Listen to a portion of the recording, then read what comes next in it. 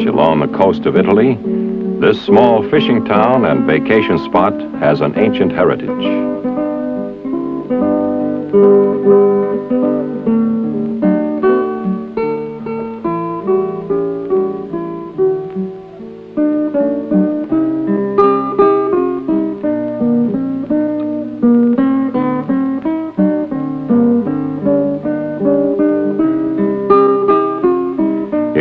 Roots reach back into the worldly glory of the Roman Empire. It was then, as it is now, a minor port facing out onto the Tyrrhenian Sea.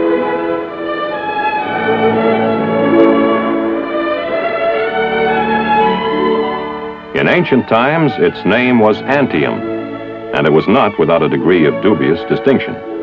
Nero was born here, and Caligula. Is little today to recall the days of the Roman legions, and very few of the thousands of Americans who knew it during World War II would recognize its ancient name or its rebuilt, unscarred face.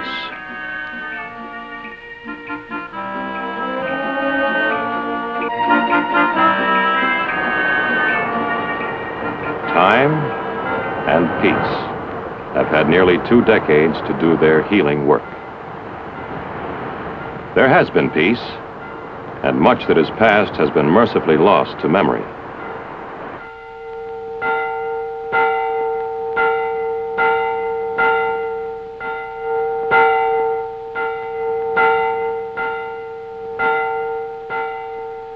But a great many Americans will never forget this town's modern day name, the name they knew it by in 1944 Anzio.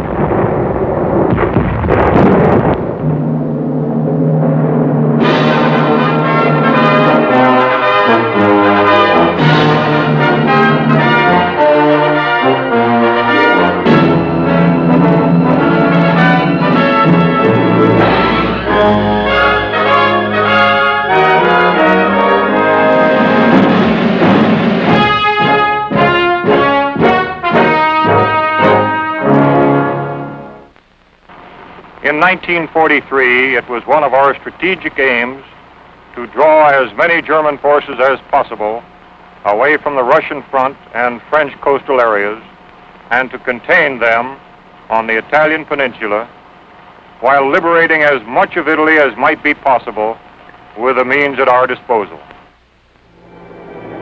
As General Clark was well aware, our objectives were one thing, the achieving of them another.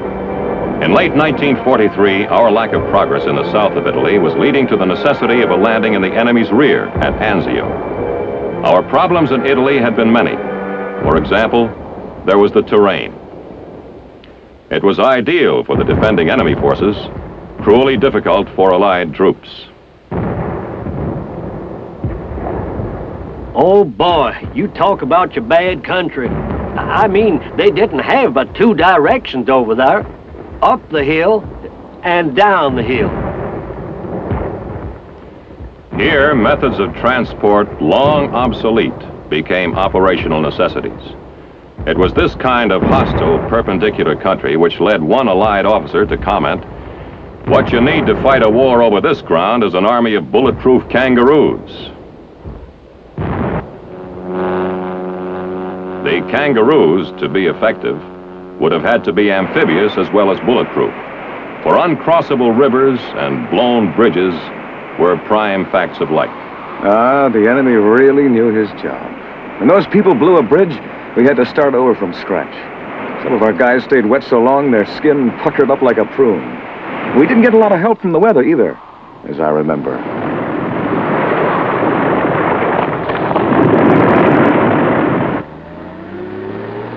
By midwinter, the Allies' advance toward Rome had bogged down.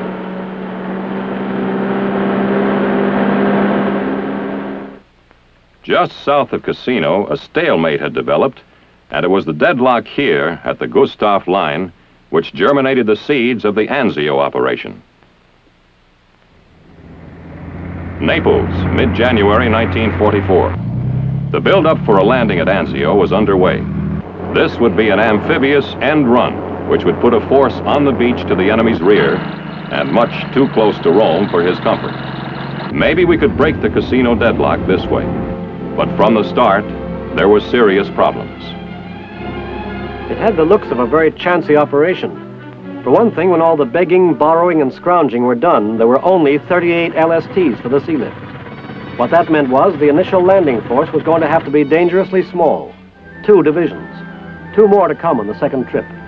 Sixth Corps, that was us, under General John P. Lucas, drew the honor. It was a gamble for everybody concerned, but it had to be taken. By 21 January 1944, the task force was moving toward Anzio. The two divisions were well chosen. The British 1st Infantry had been through Dunkirk, the American 3rd had fought through Tunisia and Sicily. But at this point, all was doubt, speculation.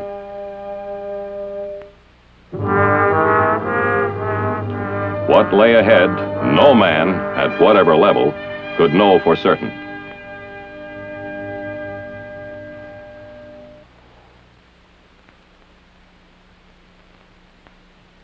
By the time it got late on the 22nd, we were already putting people on the beach. I made the Salerno landing before, and I was all set in my mind for this to be just as bad. I kept waiting for them to open up with the heavy stuff, but it didn't happen. I didn't get it. But I sure wasn't complaining. Unbelievably, the landing was almost completely unopposed. The enemy's reserve divisions near Rome had been drawn south by an Allied attack on the Cassino front designed to do just that. By an ironic bit of timing, the Germans had called off their 24-hour coast watch on the very night when the task force was approaching Anzio. Equally ironic was this. We had achieved complete surprise, and we didn't know it. The only real trouble we got that day was from the air.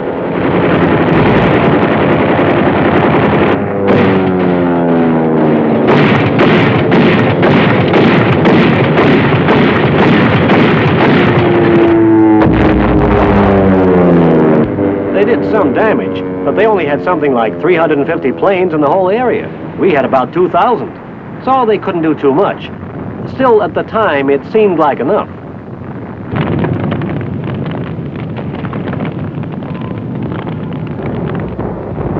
Despite harassment from the air, losses were light.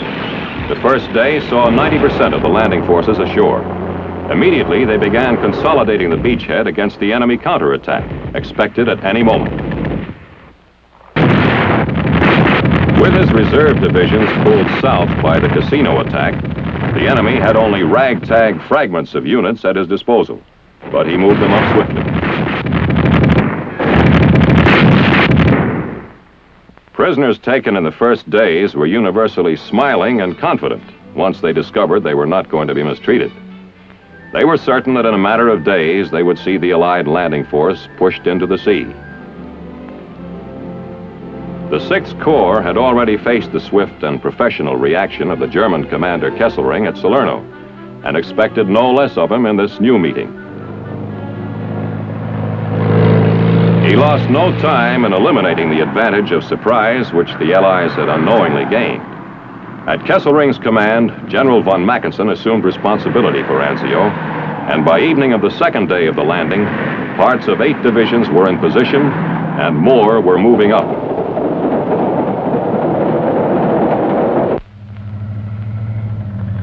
Beginning at dawn, four days after the first landing, the Allied force set out to push farther inland, enlarging the beachhead.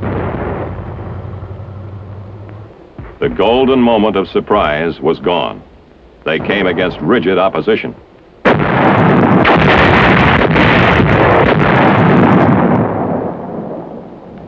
It was a foretaste of things to come. In three days of fighting, the perimeter was extended somewhat, but the cost was high.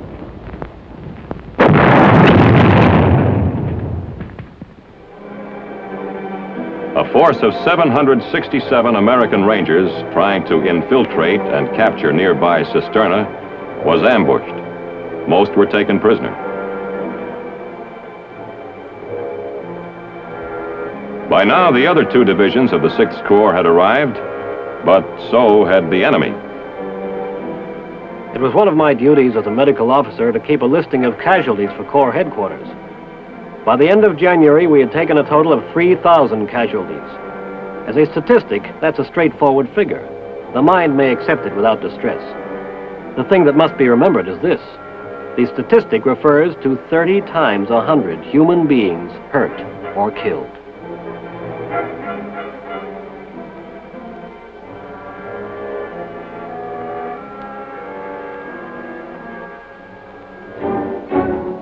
The Allied offensive ground to a stop, and the Anzio forces went on the defensive. Bad weather came. This meant no air cover. This meant enemy forces building up without hindrance. A counterattack was inevitable, and we got ready for it. But barbed wire and mines, so helpful to a force on the defensive, were in somewhat short supply.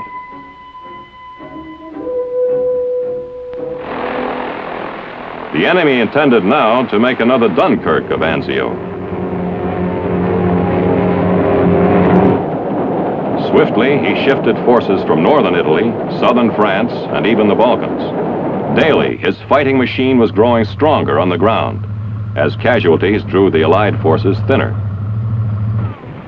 By mid-February, the enemy had pushed the Allies back in the center of the grimly held beachhead, almost to the last-ditch lines of defense. The outlook, depending on which side you were looking from, was excitingly bright or very dark. Now, once again, an Allied attempt in the south to breach the Gustav line failed. The men on the ground didn't know that the breakthrough attempt was also intended to ease the pressure on the Anzio perimeter. They only knew that enemy guns still looked down their necks from the fortified heights and that advance became impossible. With the repulse of the second Cassino offensive, it became clear Anzio was on its own. The crisis was here. Every resource was marshaled to meet it. When the massive frontal attacks came, we met them with a hurricane of fire.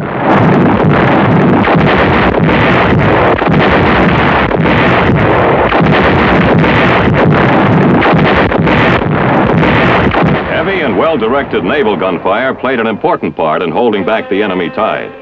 The Anzio front was so close to the sea that naval guns became infantry support weapons.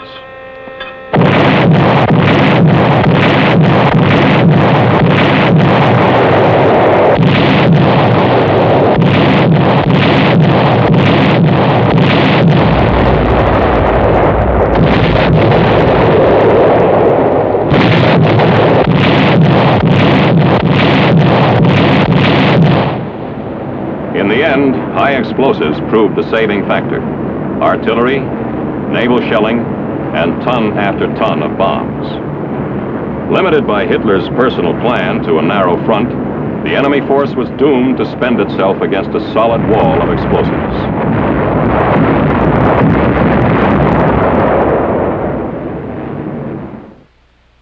Having weathered the crisis, the 6th Corps' commander, General Lucas, received a new assignment. Assistant Commander, 5th Army. The new commander of the Anzio Force was General Lucian K. Truscott, recently appointed deputy to General Lucas and former commander of the 3rd Division. What lay ahead was now up to him. This was the situation the new commander faced.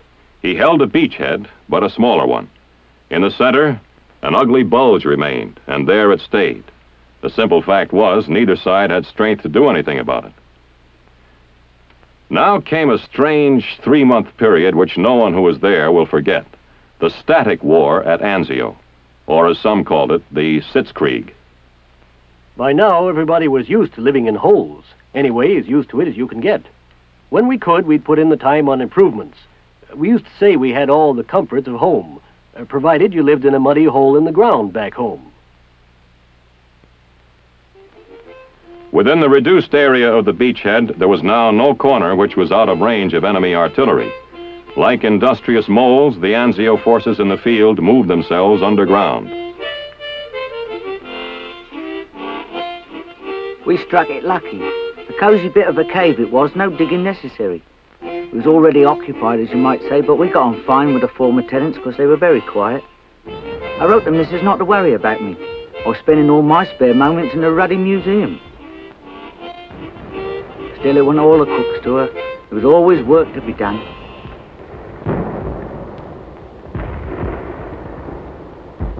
There was work, plenty. Daily, nightly, endlessly, there was the exchange of shells of varying sizes, weights, and types, fired out from and into the battered beachhead.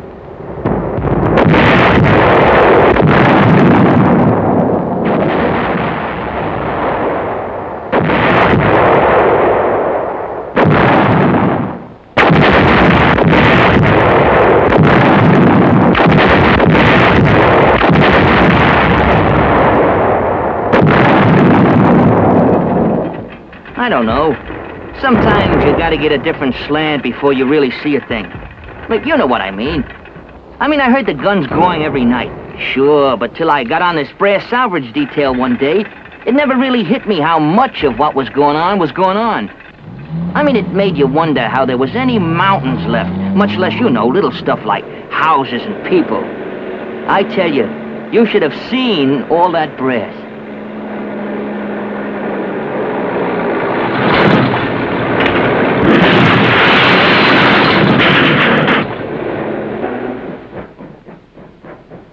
It was during this period that Anzio Annie became especially well known, though not popular among the inhabitants of the beachhead. Actually, Anzio Annie was not one, but two huge German railway guns, called Robert and Leopold by the men who directed their fire into every corner of the crowded perimeter.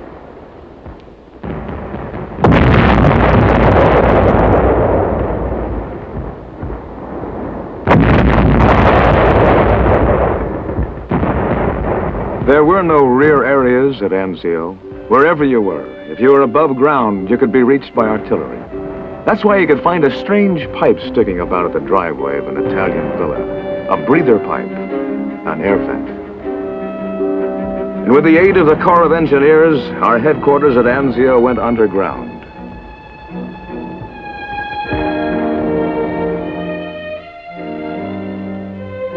The main corridor gave you an idea of how big this specialized foxhole was.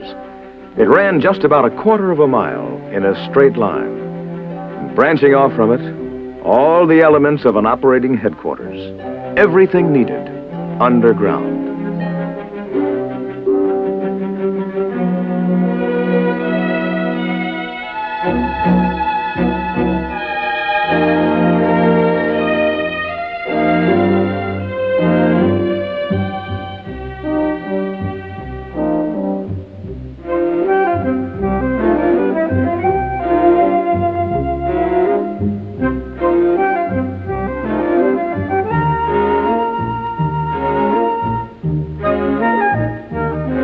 Tunnels, natural caves, all were put to use and glad to get them. What with bad weather, shellings, and air raids, there was a lot to be said for underground living at Anzio. Another constant reality of the beachhead was the endless patrolling, probing, raiding.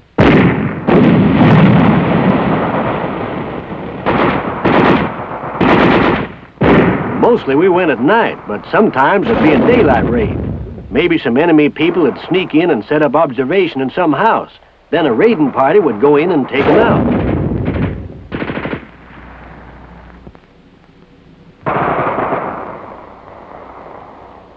It was a regular thing. You didn't get used to it, but at least you got where you understood what you were doing.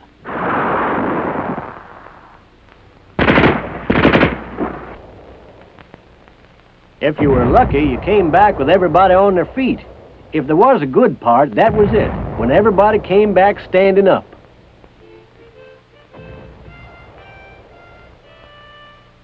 There was a right funny side to it all, though. These propaganda sheets we used to get were always good for a chuckle. I don't know yet what they hope to accomplish.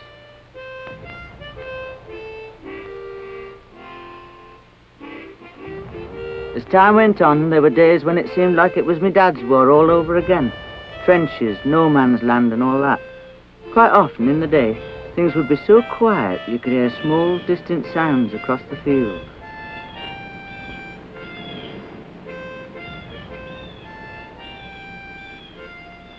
Mind you, though, night time was something else again.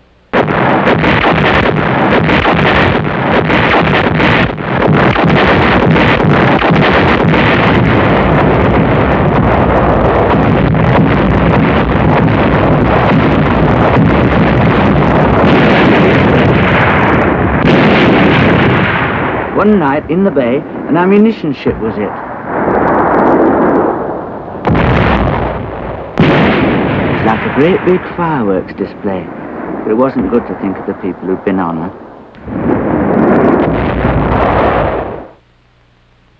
After our field hospital had been bombed and shelled a few times, we decided to take steps. We couldn't go entirely underground, so we did the next best thing and built strong revetments into which the tents could be put. We nurses helped where we could. It was a huge job, but it was necessary. We'd been shelled so often, we came to be called Hell's Half Acre. In fact, some line soldiers would actually hide small wounds, rather than risk being sent over here. I'm not making this up. It actually happened.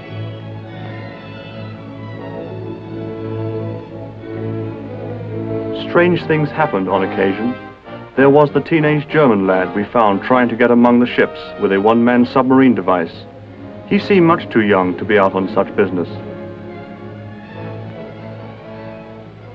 They sent some men round to where the thing was beached to bring it in. Funny looking thing. Really not much more than one torpedo to ride on and another one underneath to shoot. The Ruddy propellers started up when they started to tow it. Livened up their afternoon all right. Well, there were some jolly good sprinters among them lads.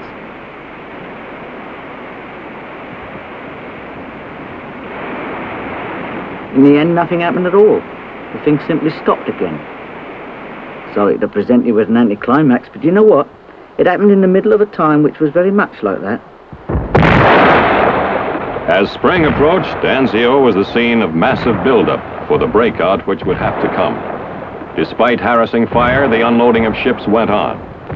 There was a moment when there were so many supplies on the beach that this little Italian fishing port rated seventh among the great ports of the world. Now the static war at Anzio was approaching its end. Commanders were formulating the plans which would break the Anzio forces out and set them on the road to Rome. As spring came on, there were special classes in the care and use of specialized items of destruction.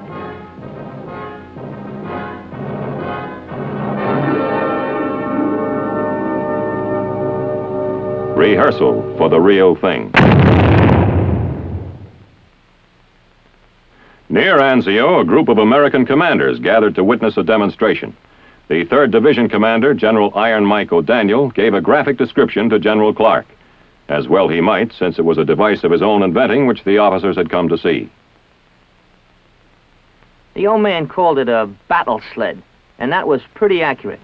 All it was, uh, you had a bunch of foxholes, only they were steel, and rigged up for towing behind a tank. That way, a squad of guys could stay in their holes for cover and move up at the same time. It's pretty neat. It never caught on, but in my book, it was a good idea.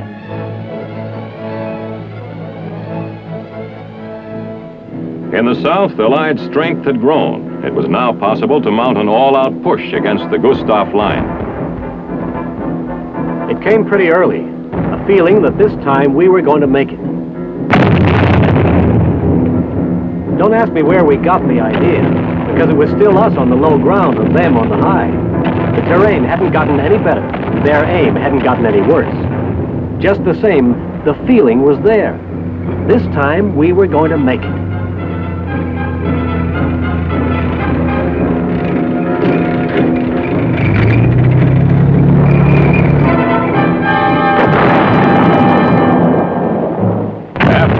Of heavy fighting, it was clear that the forces in the South were, in fact, breaking through the unbreakable Gustav line.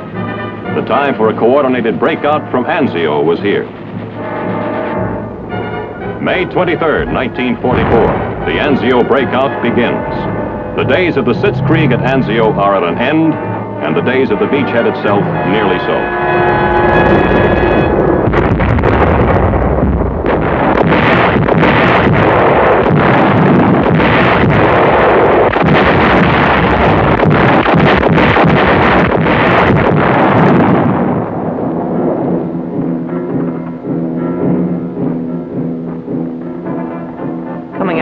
Grounds where both sides had been planning all sorts of little surprises for each other. You had to take it slow and watch your step. So it started slow, but at least we were moving at last.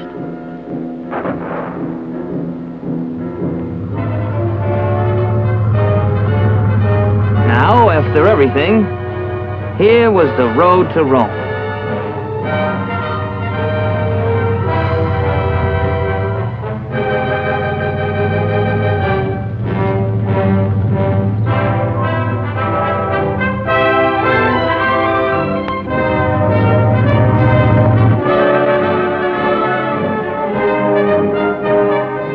June 4th, 1944, American troops were entering Rome.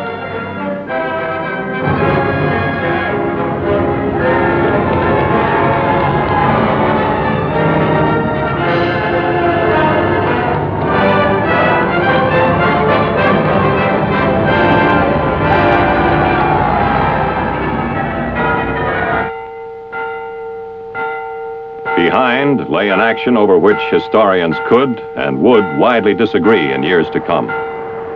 On the battered beachhead, our men had learned much. And perhaps the enemy had learned something too.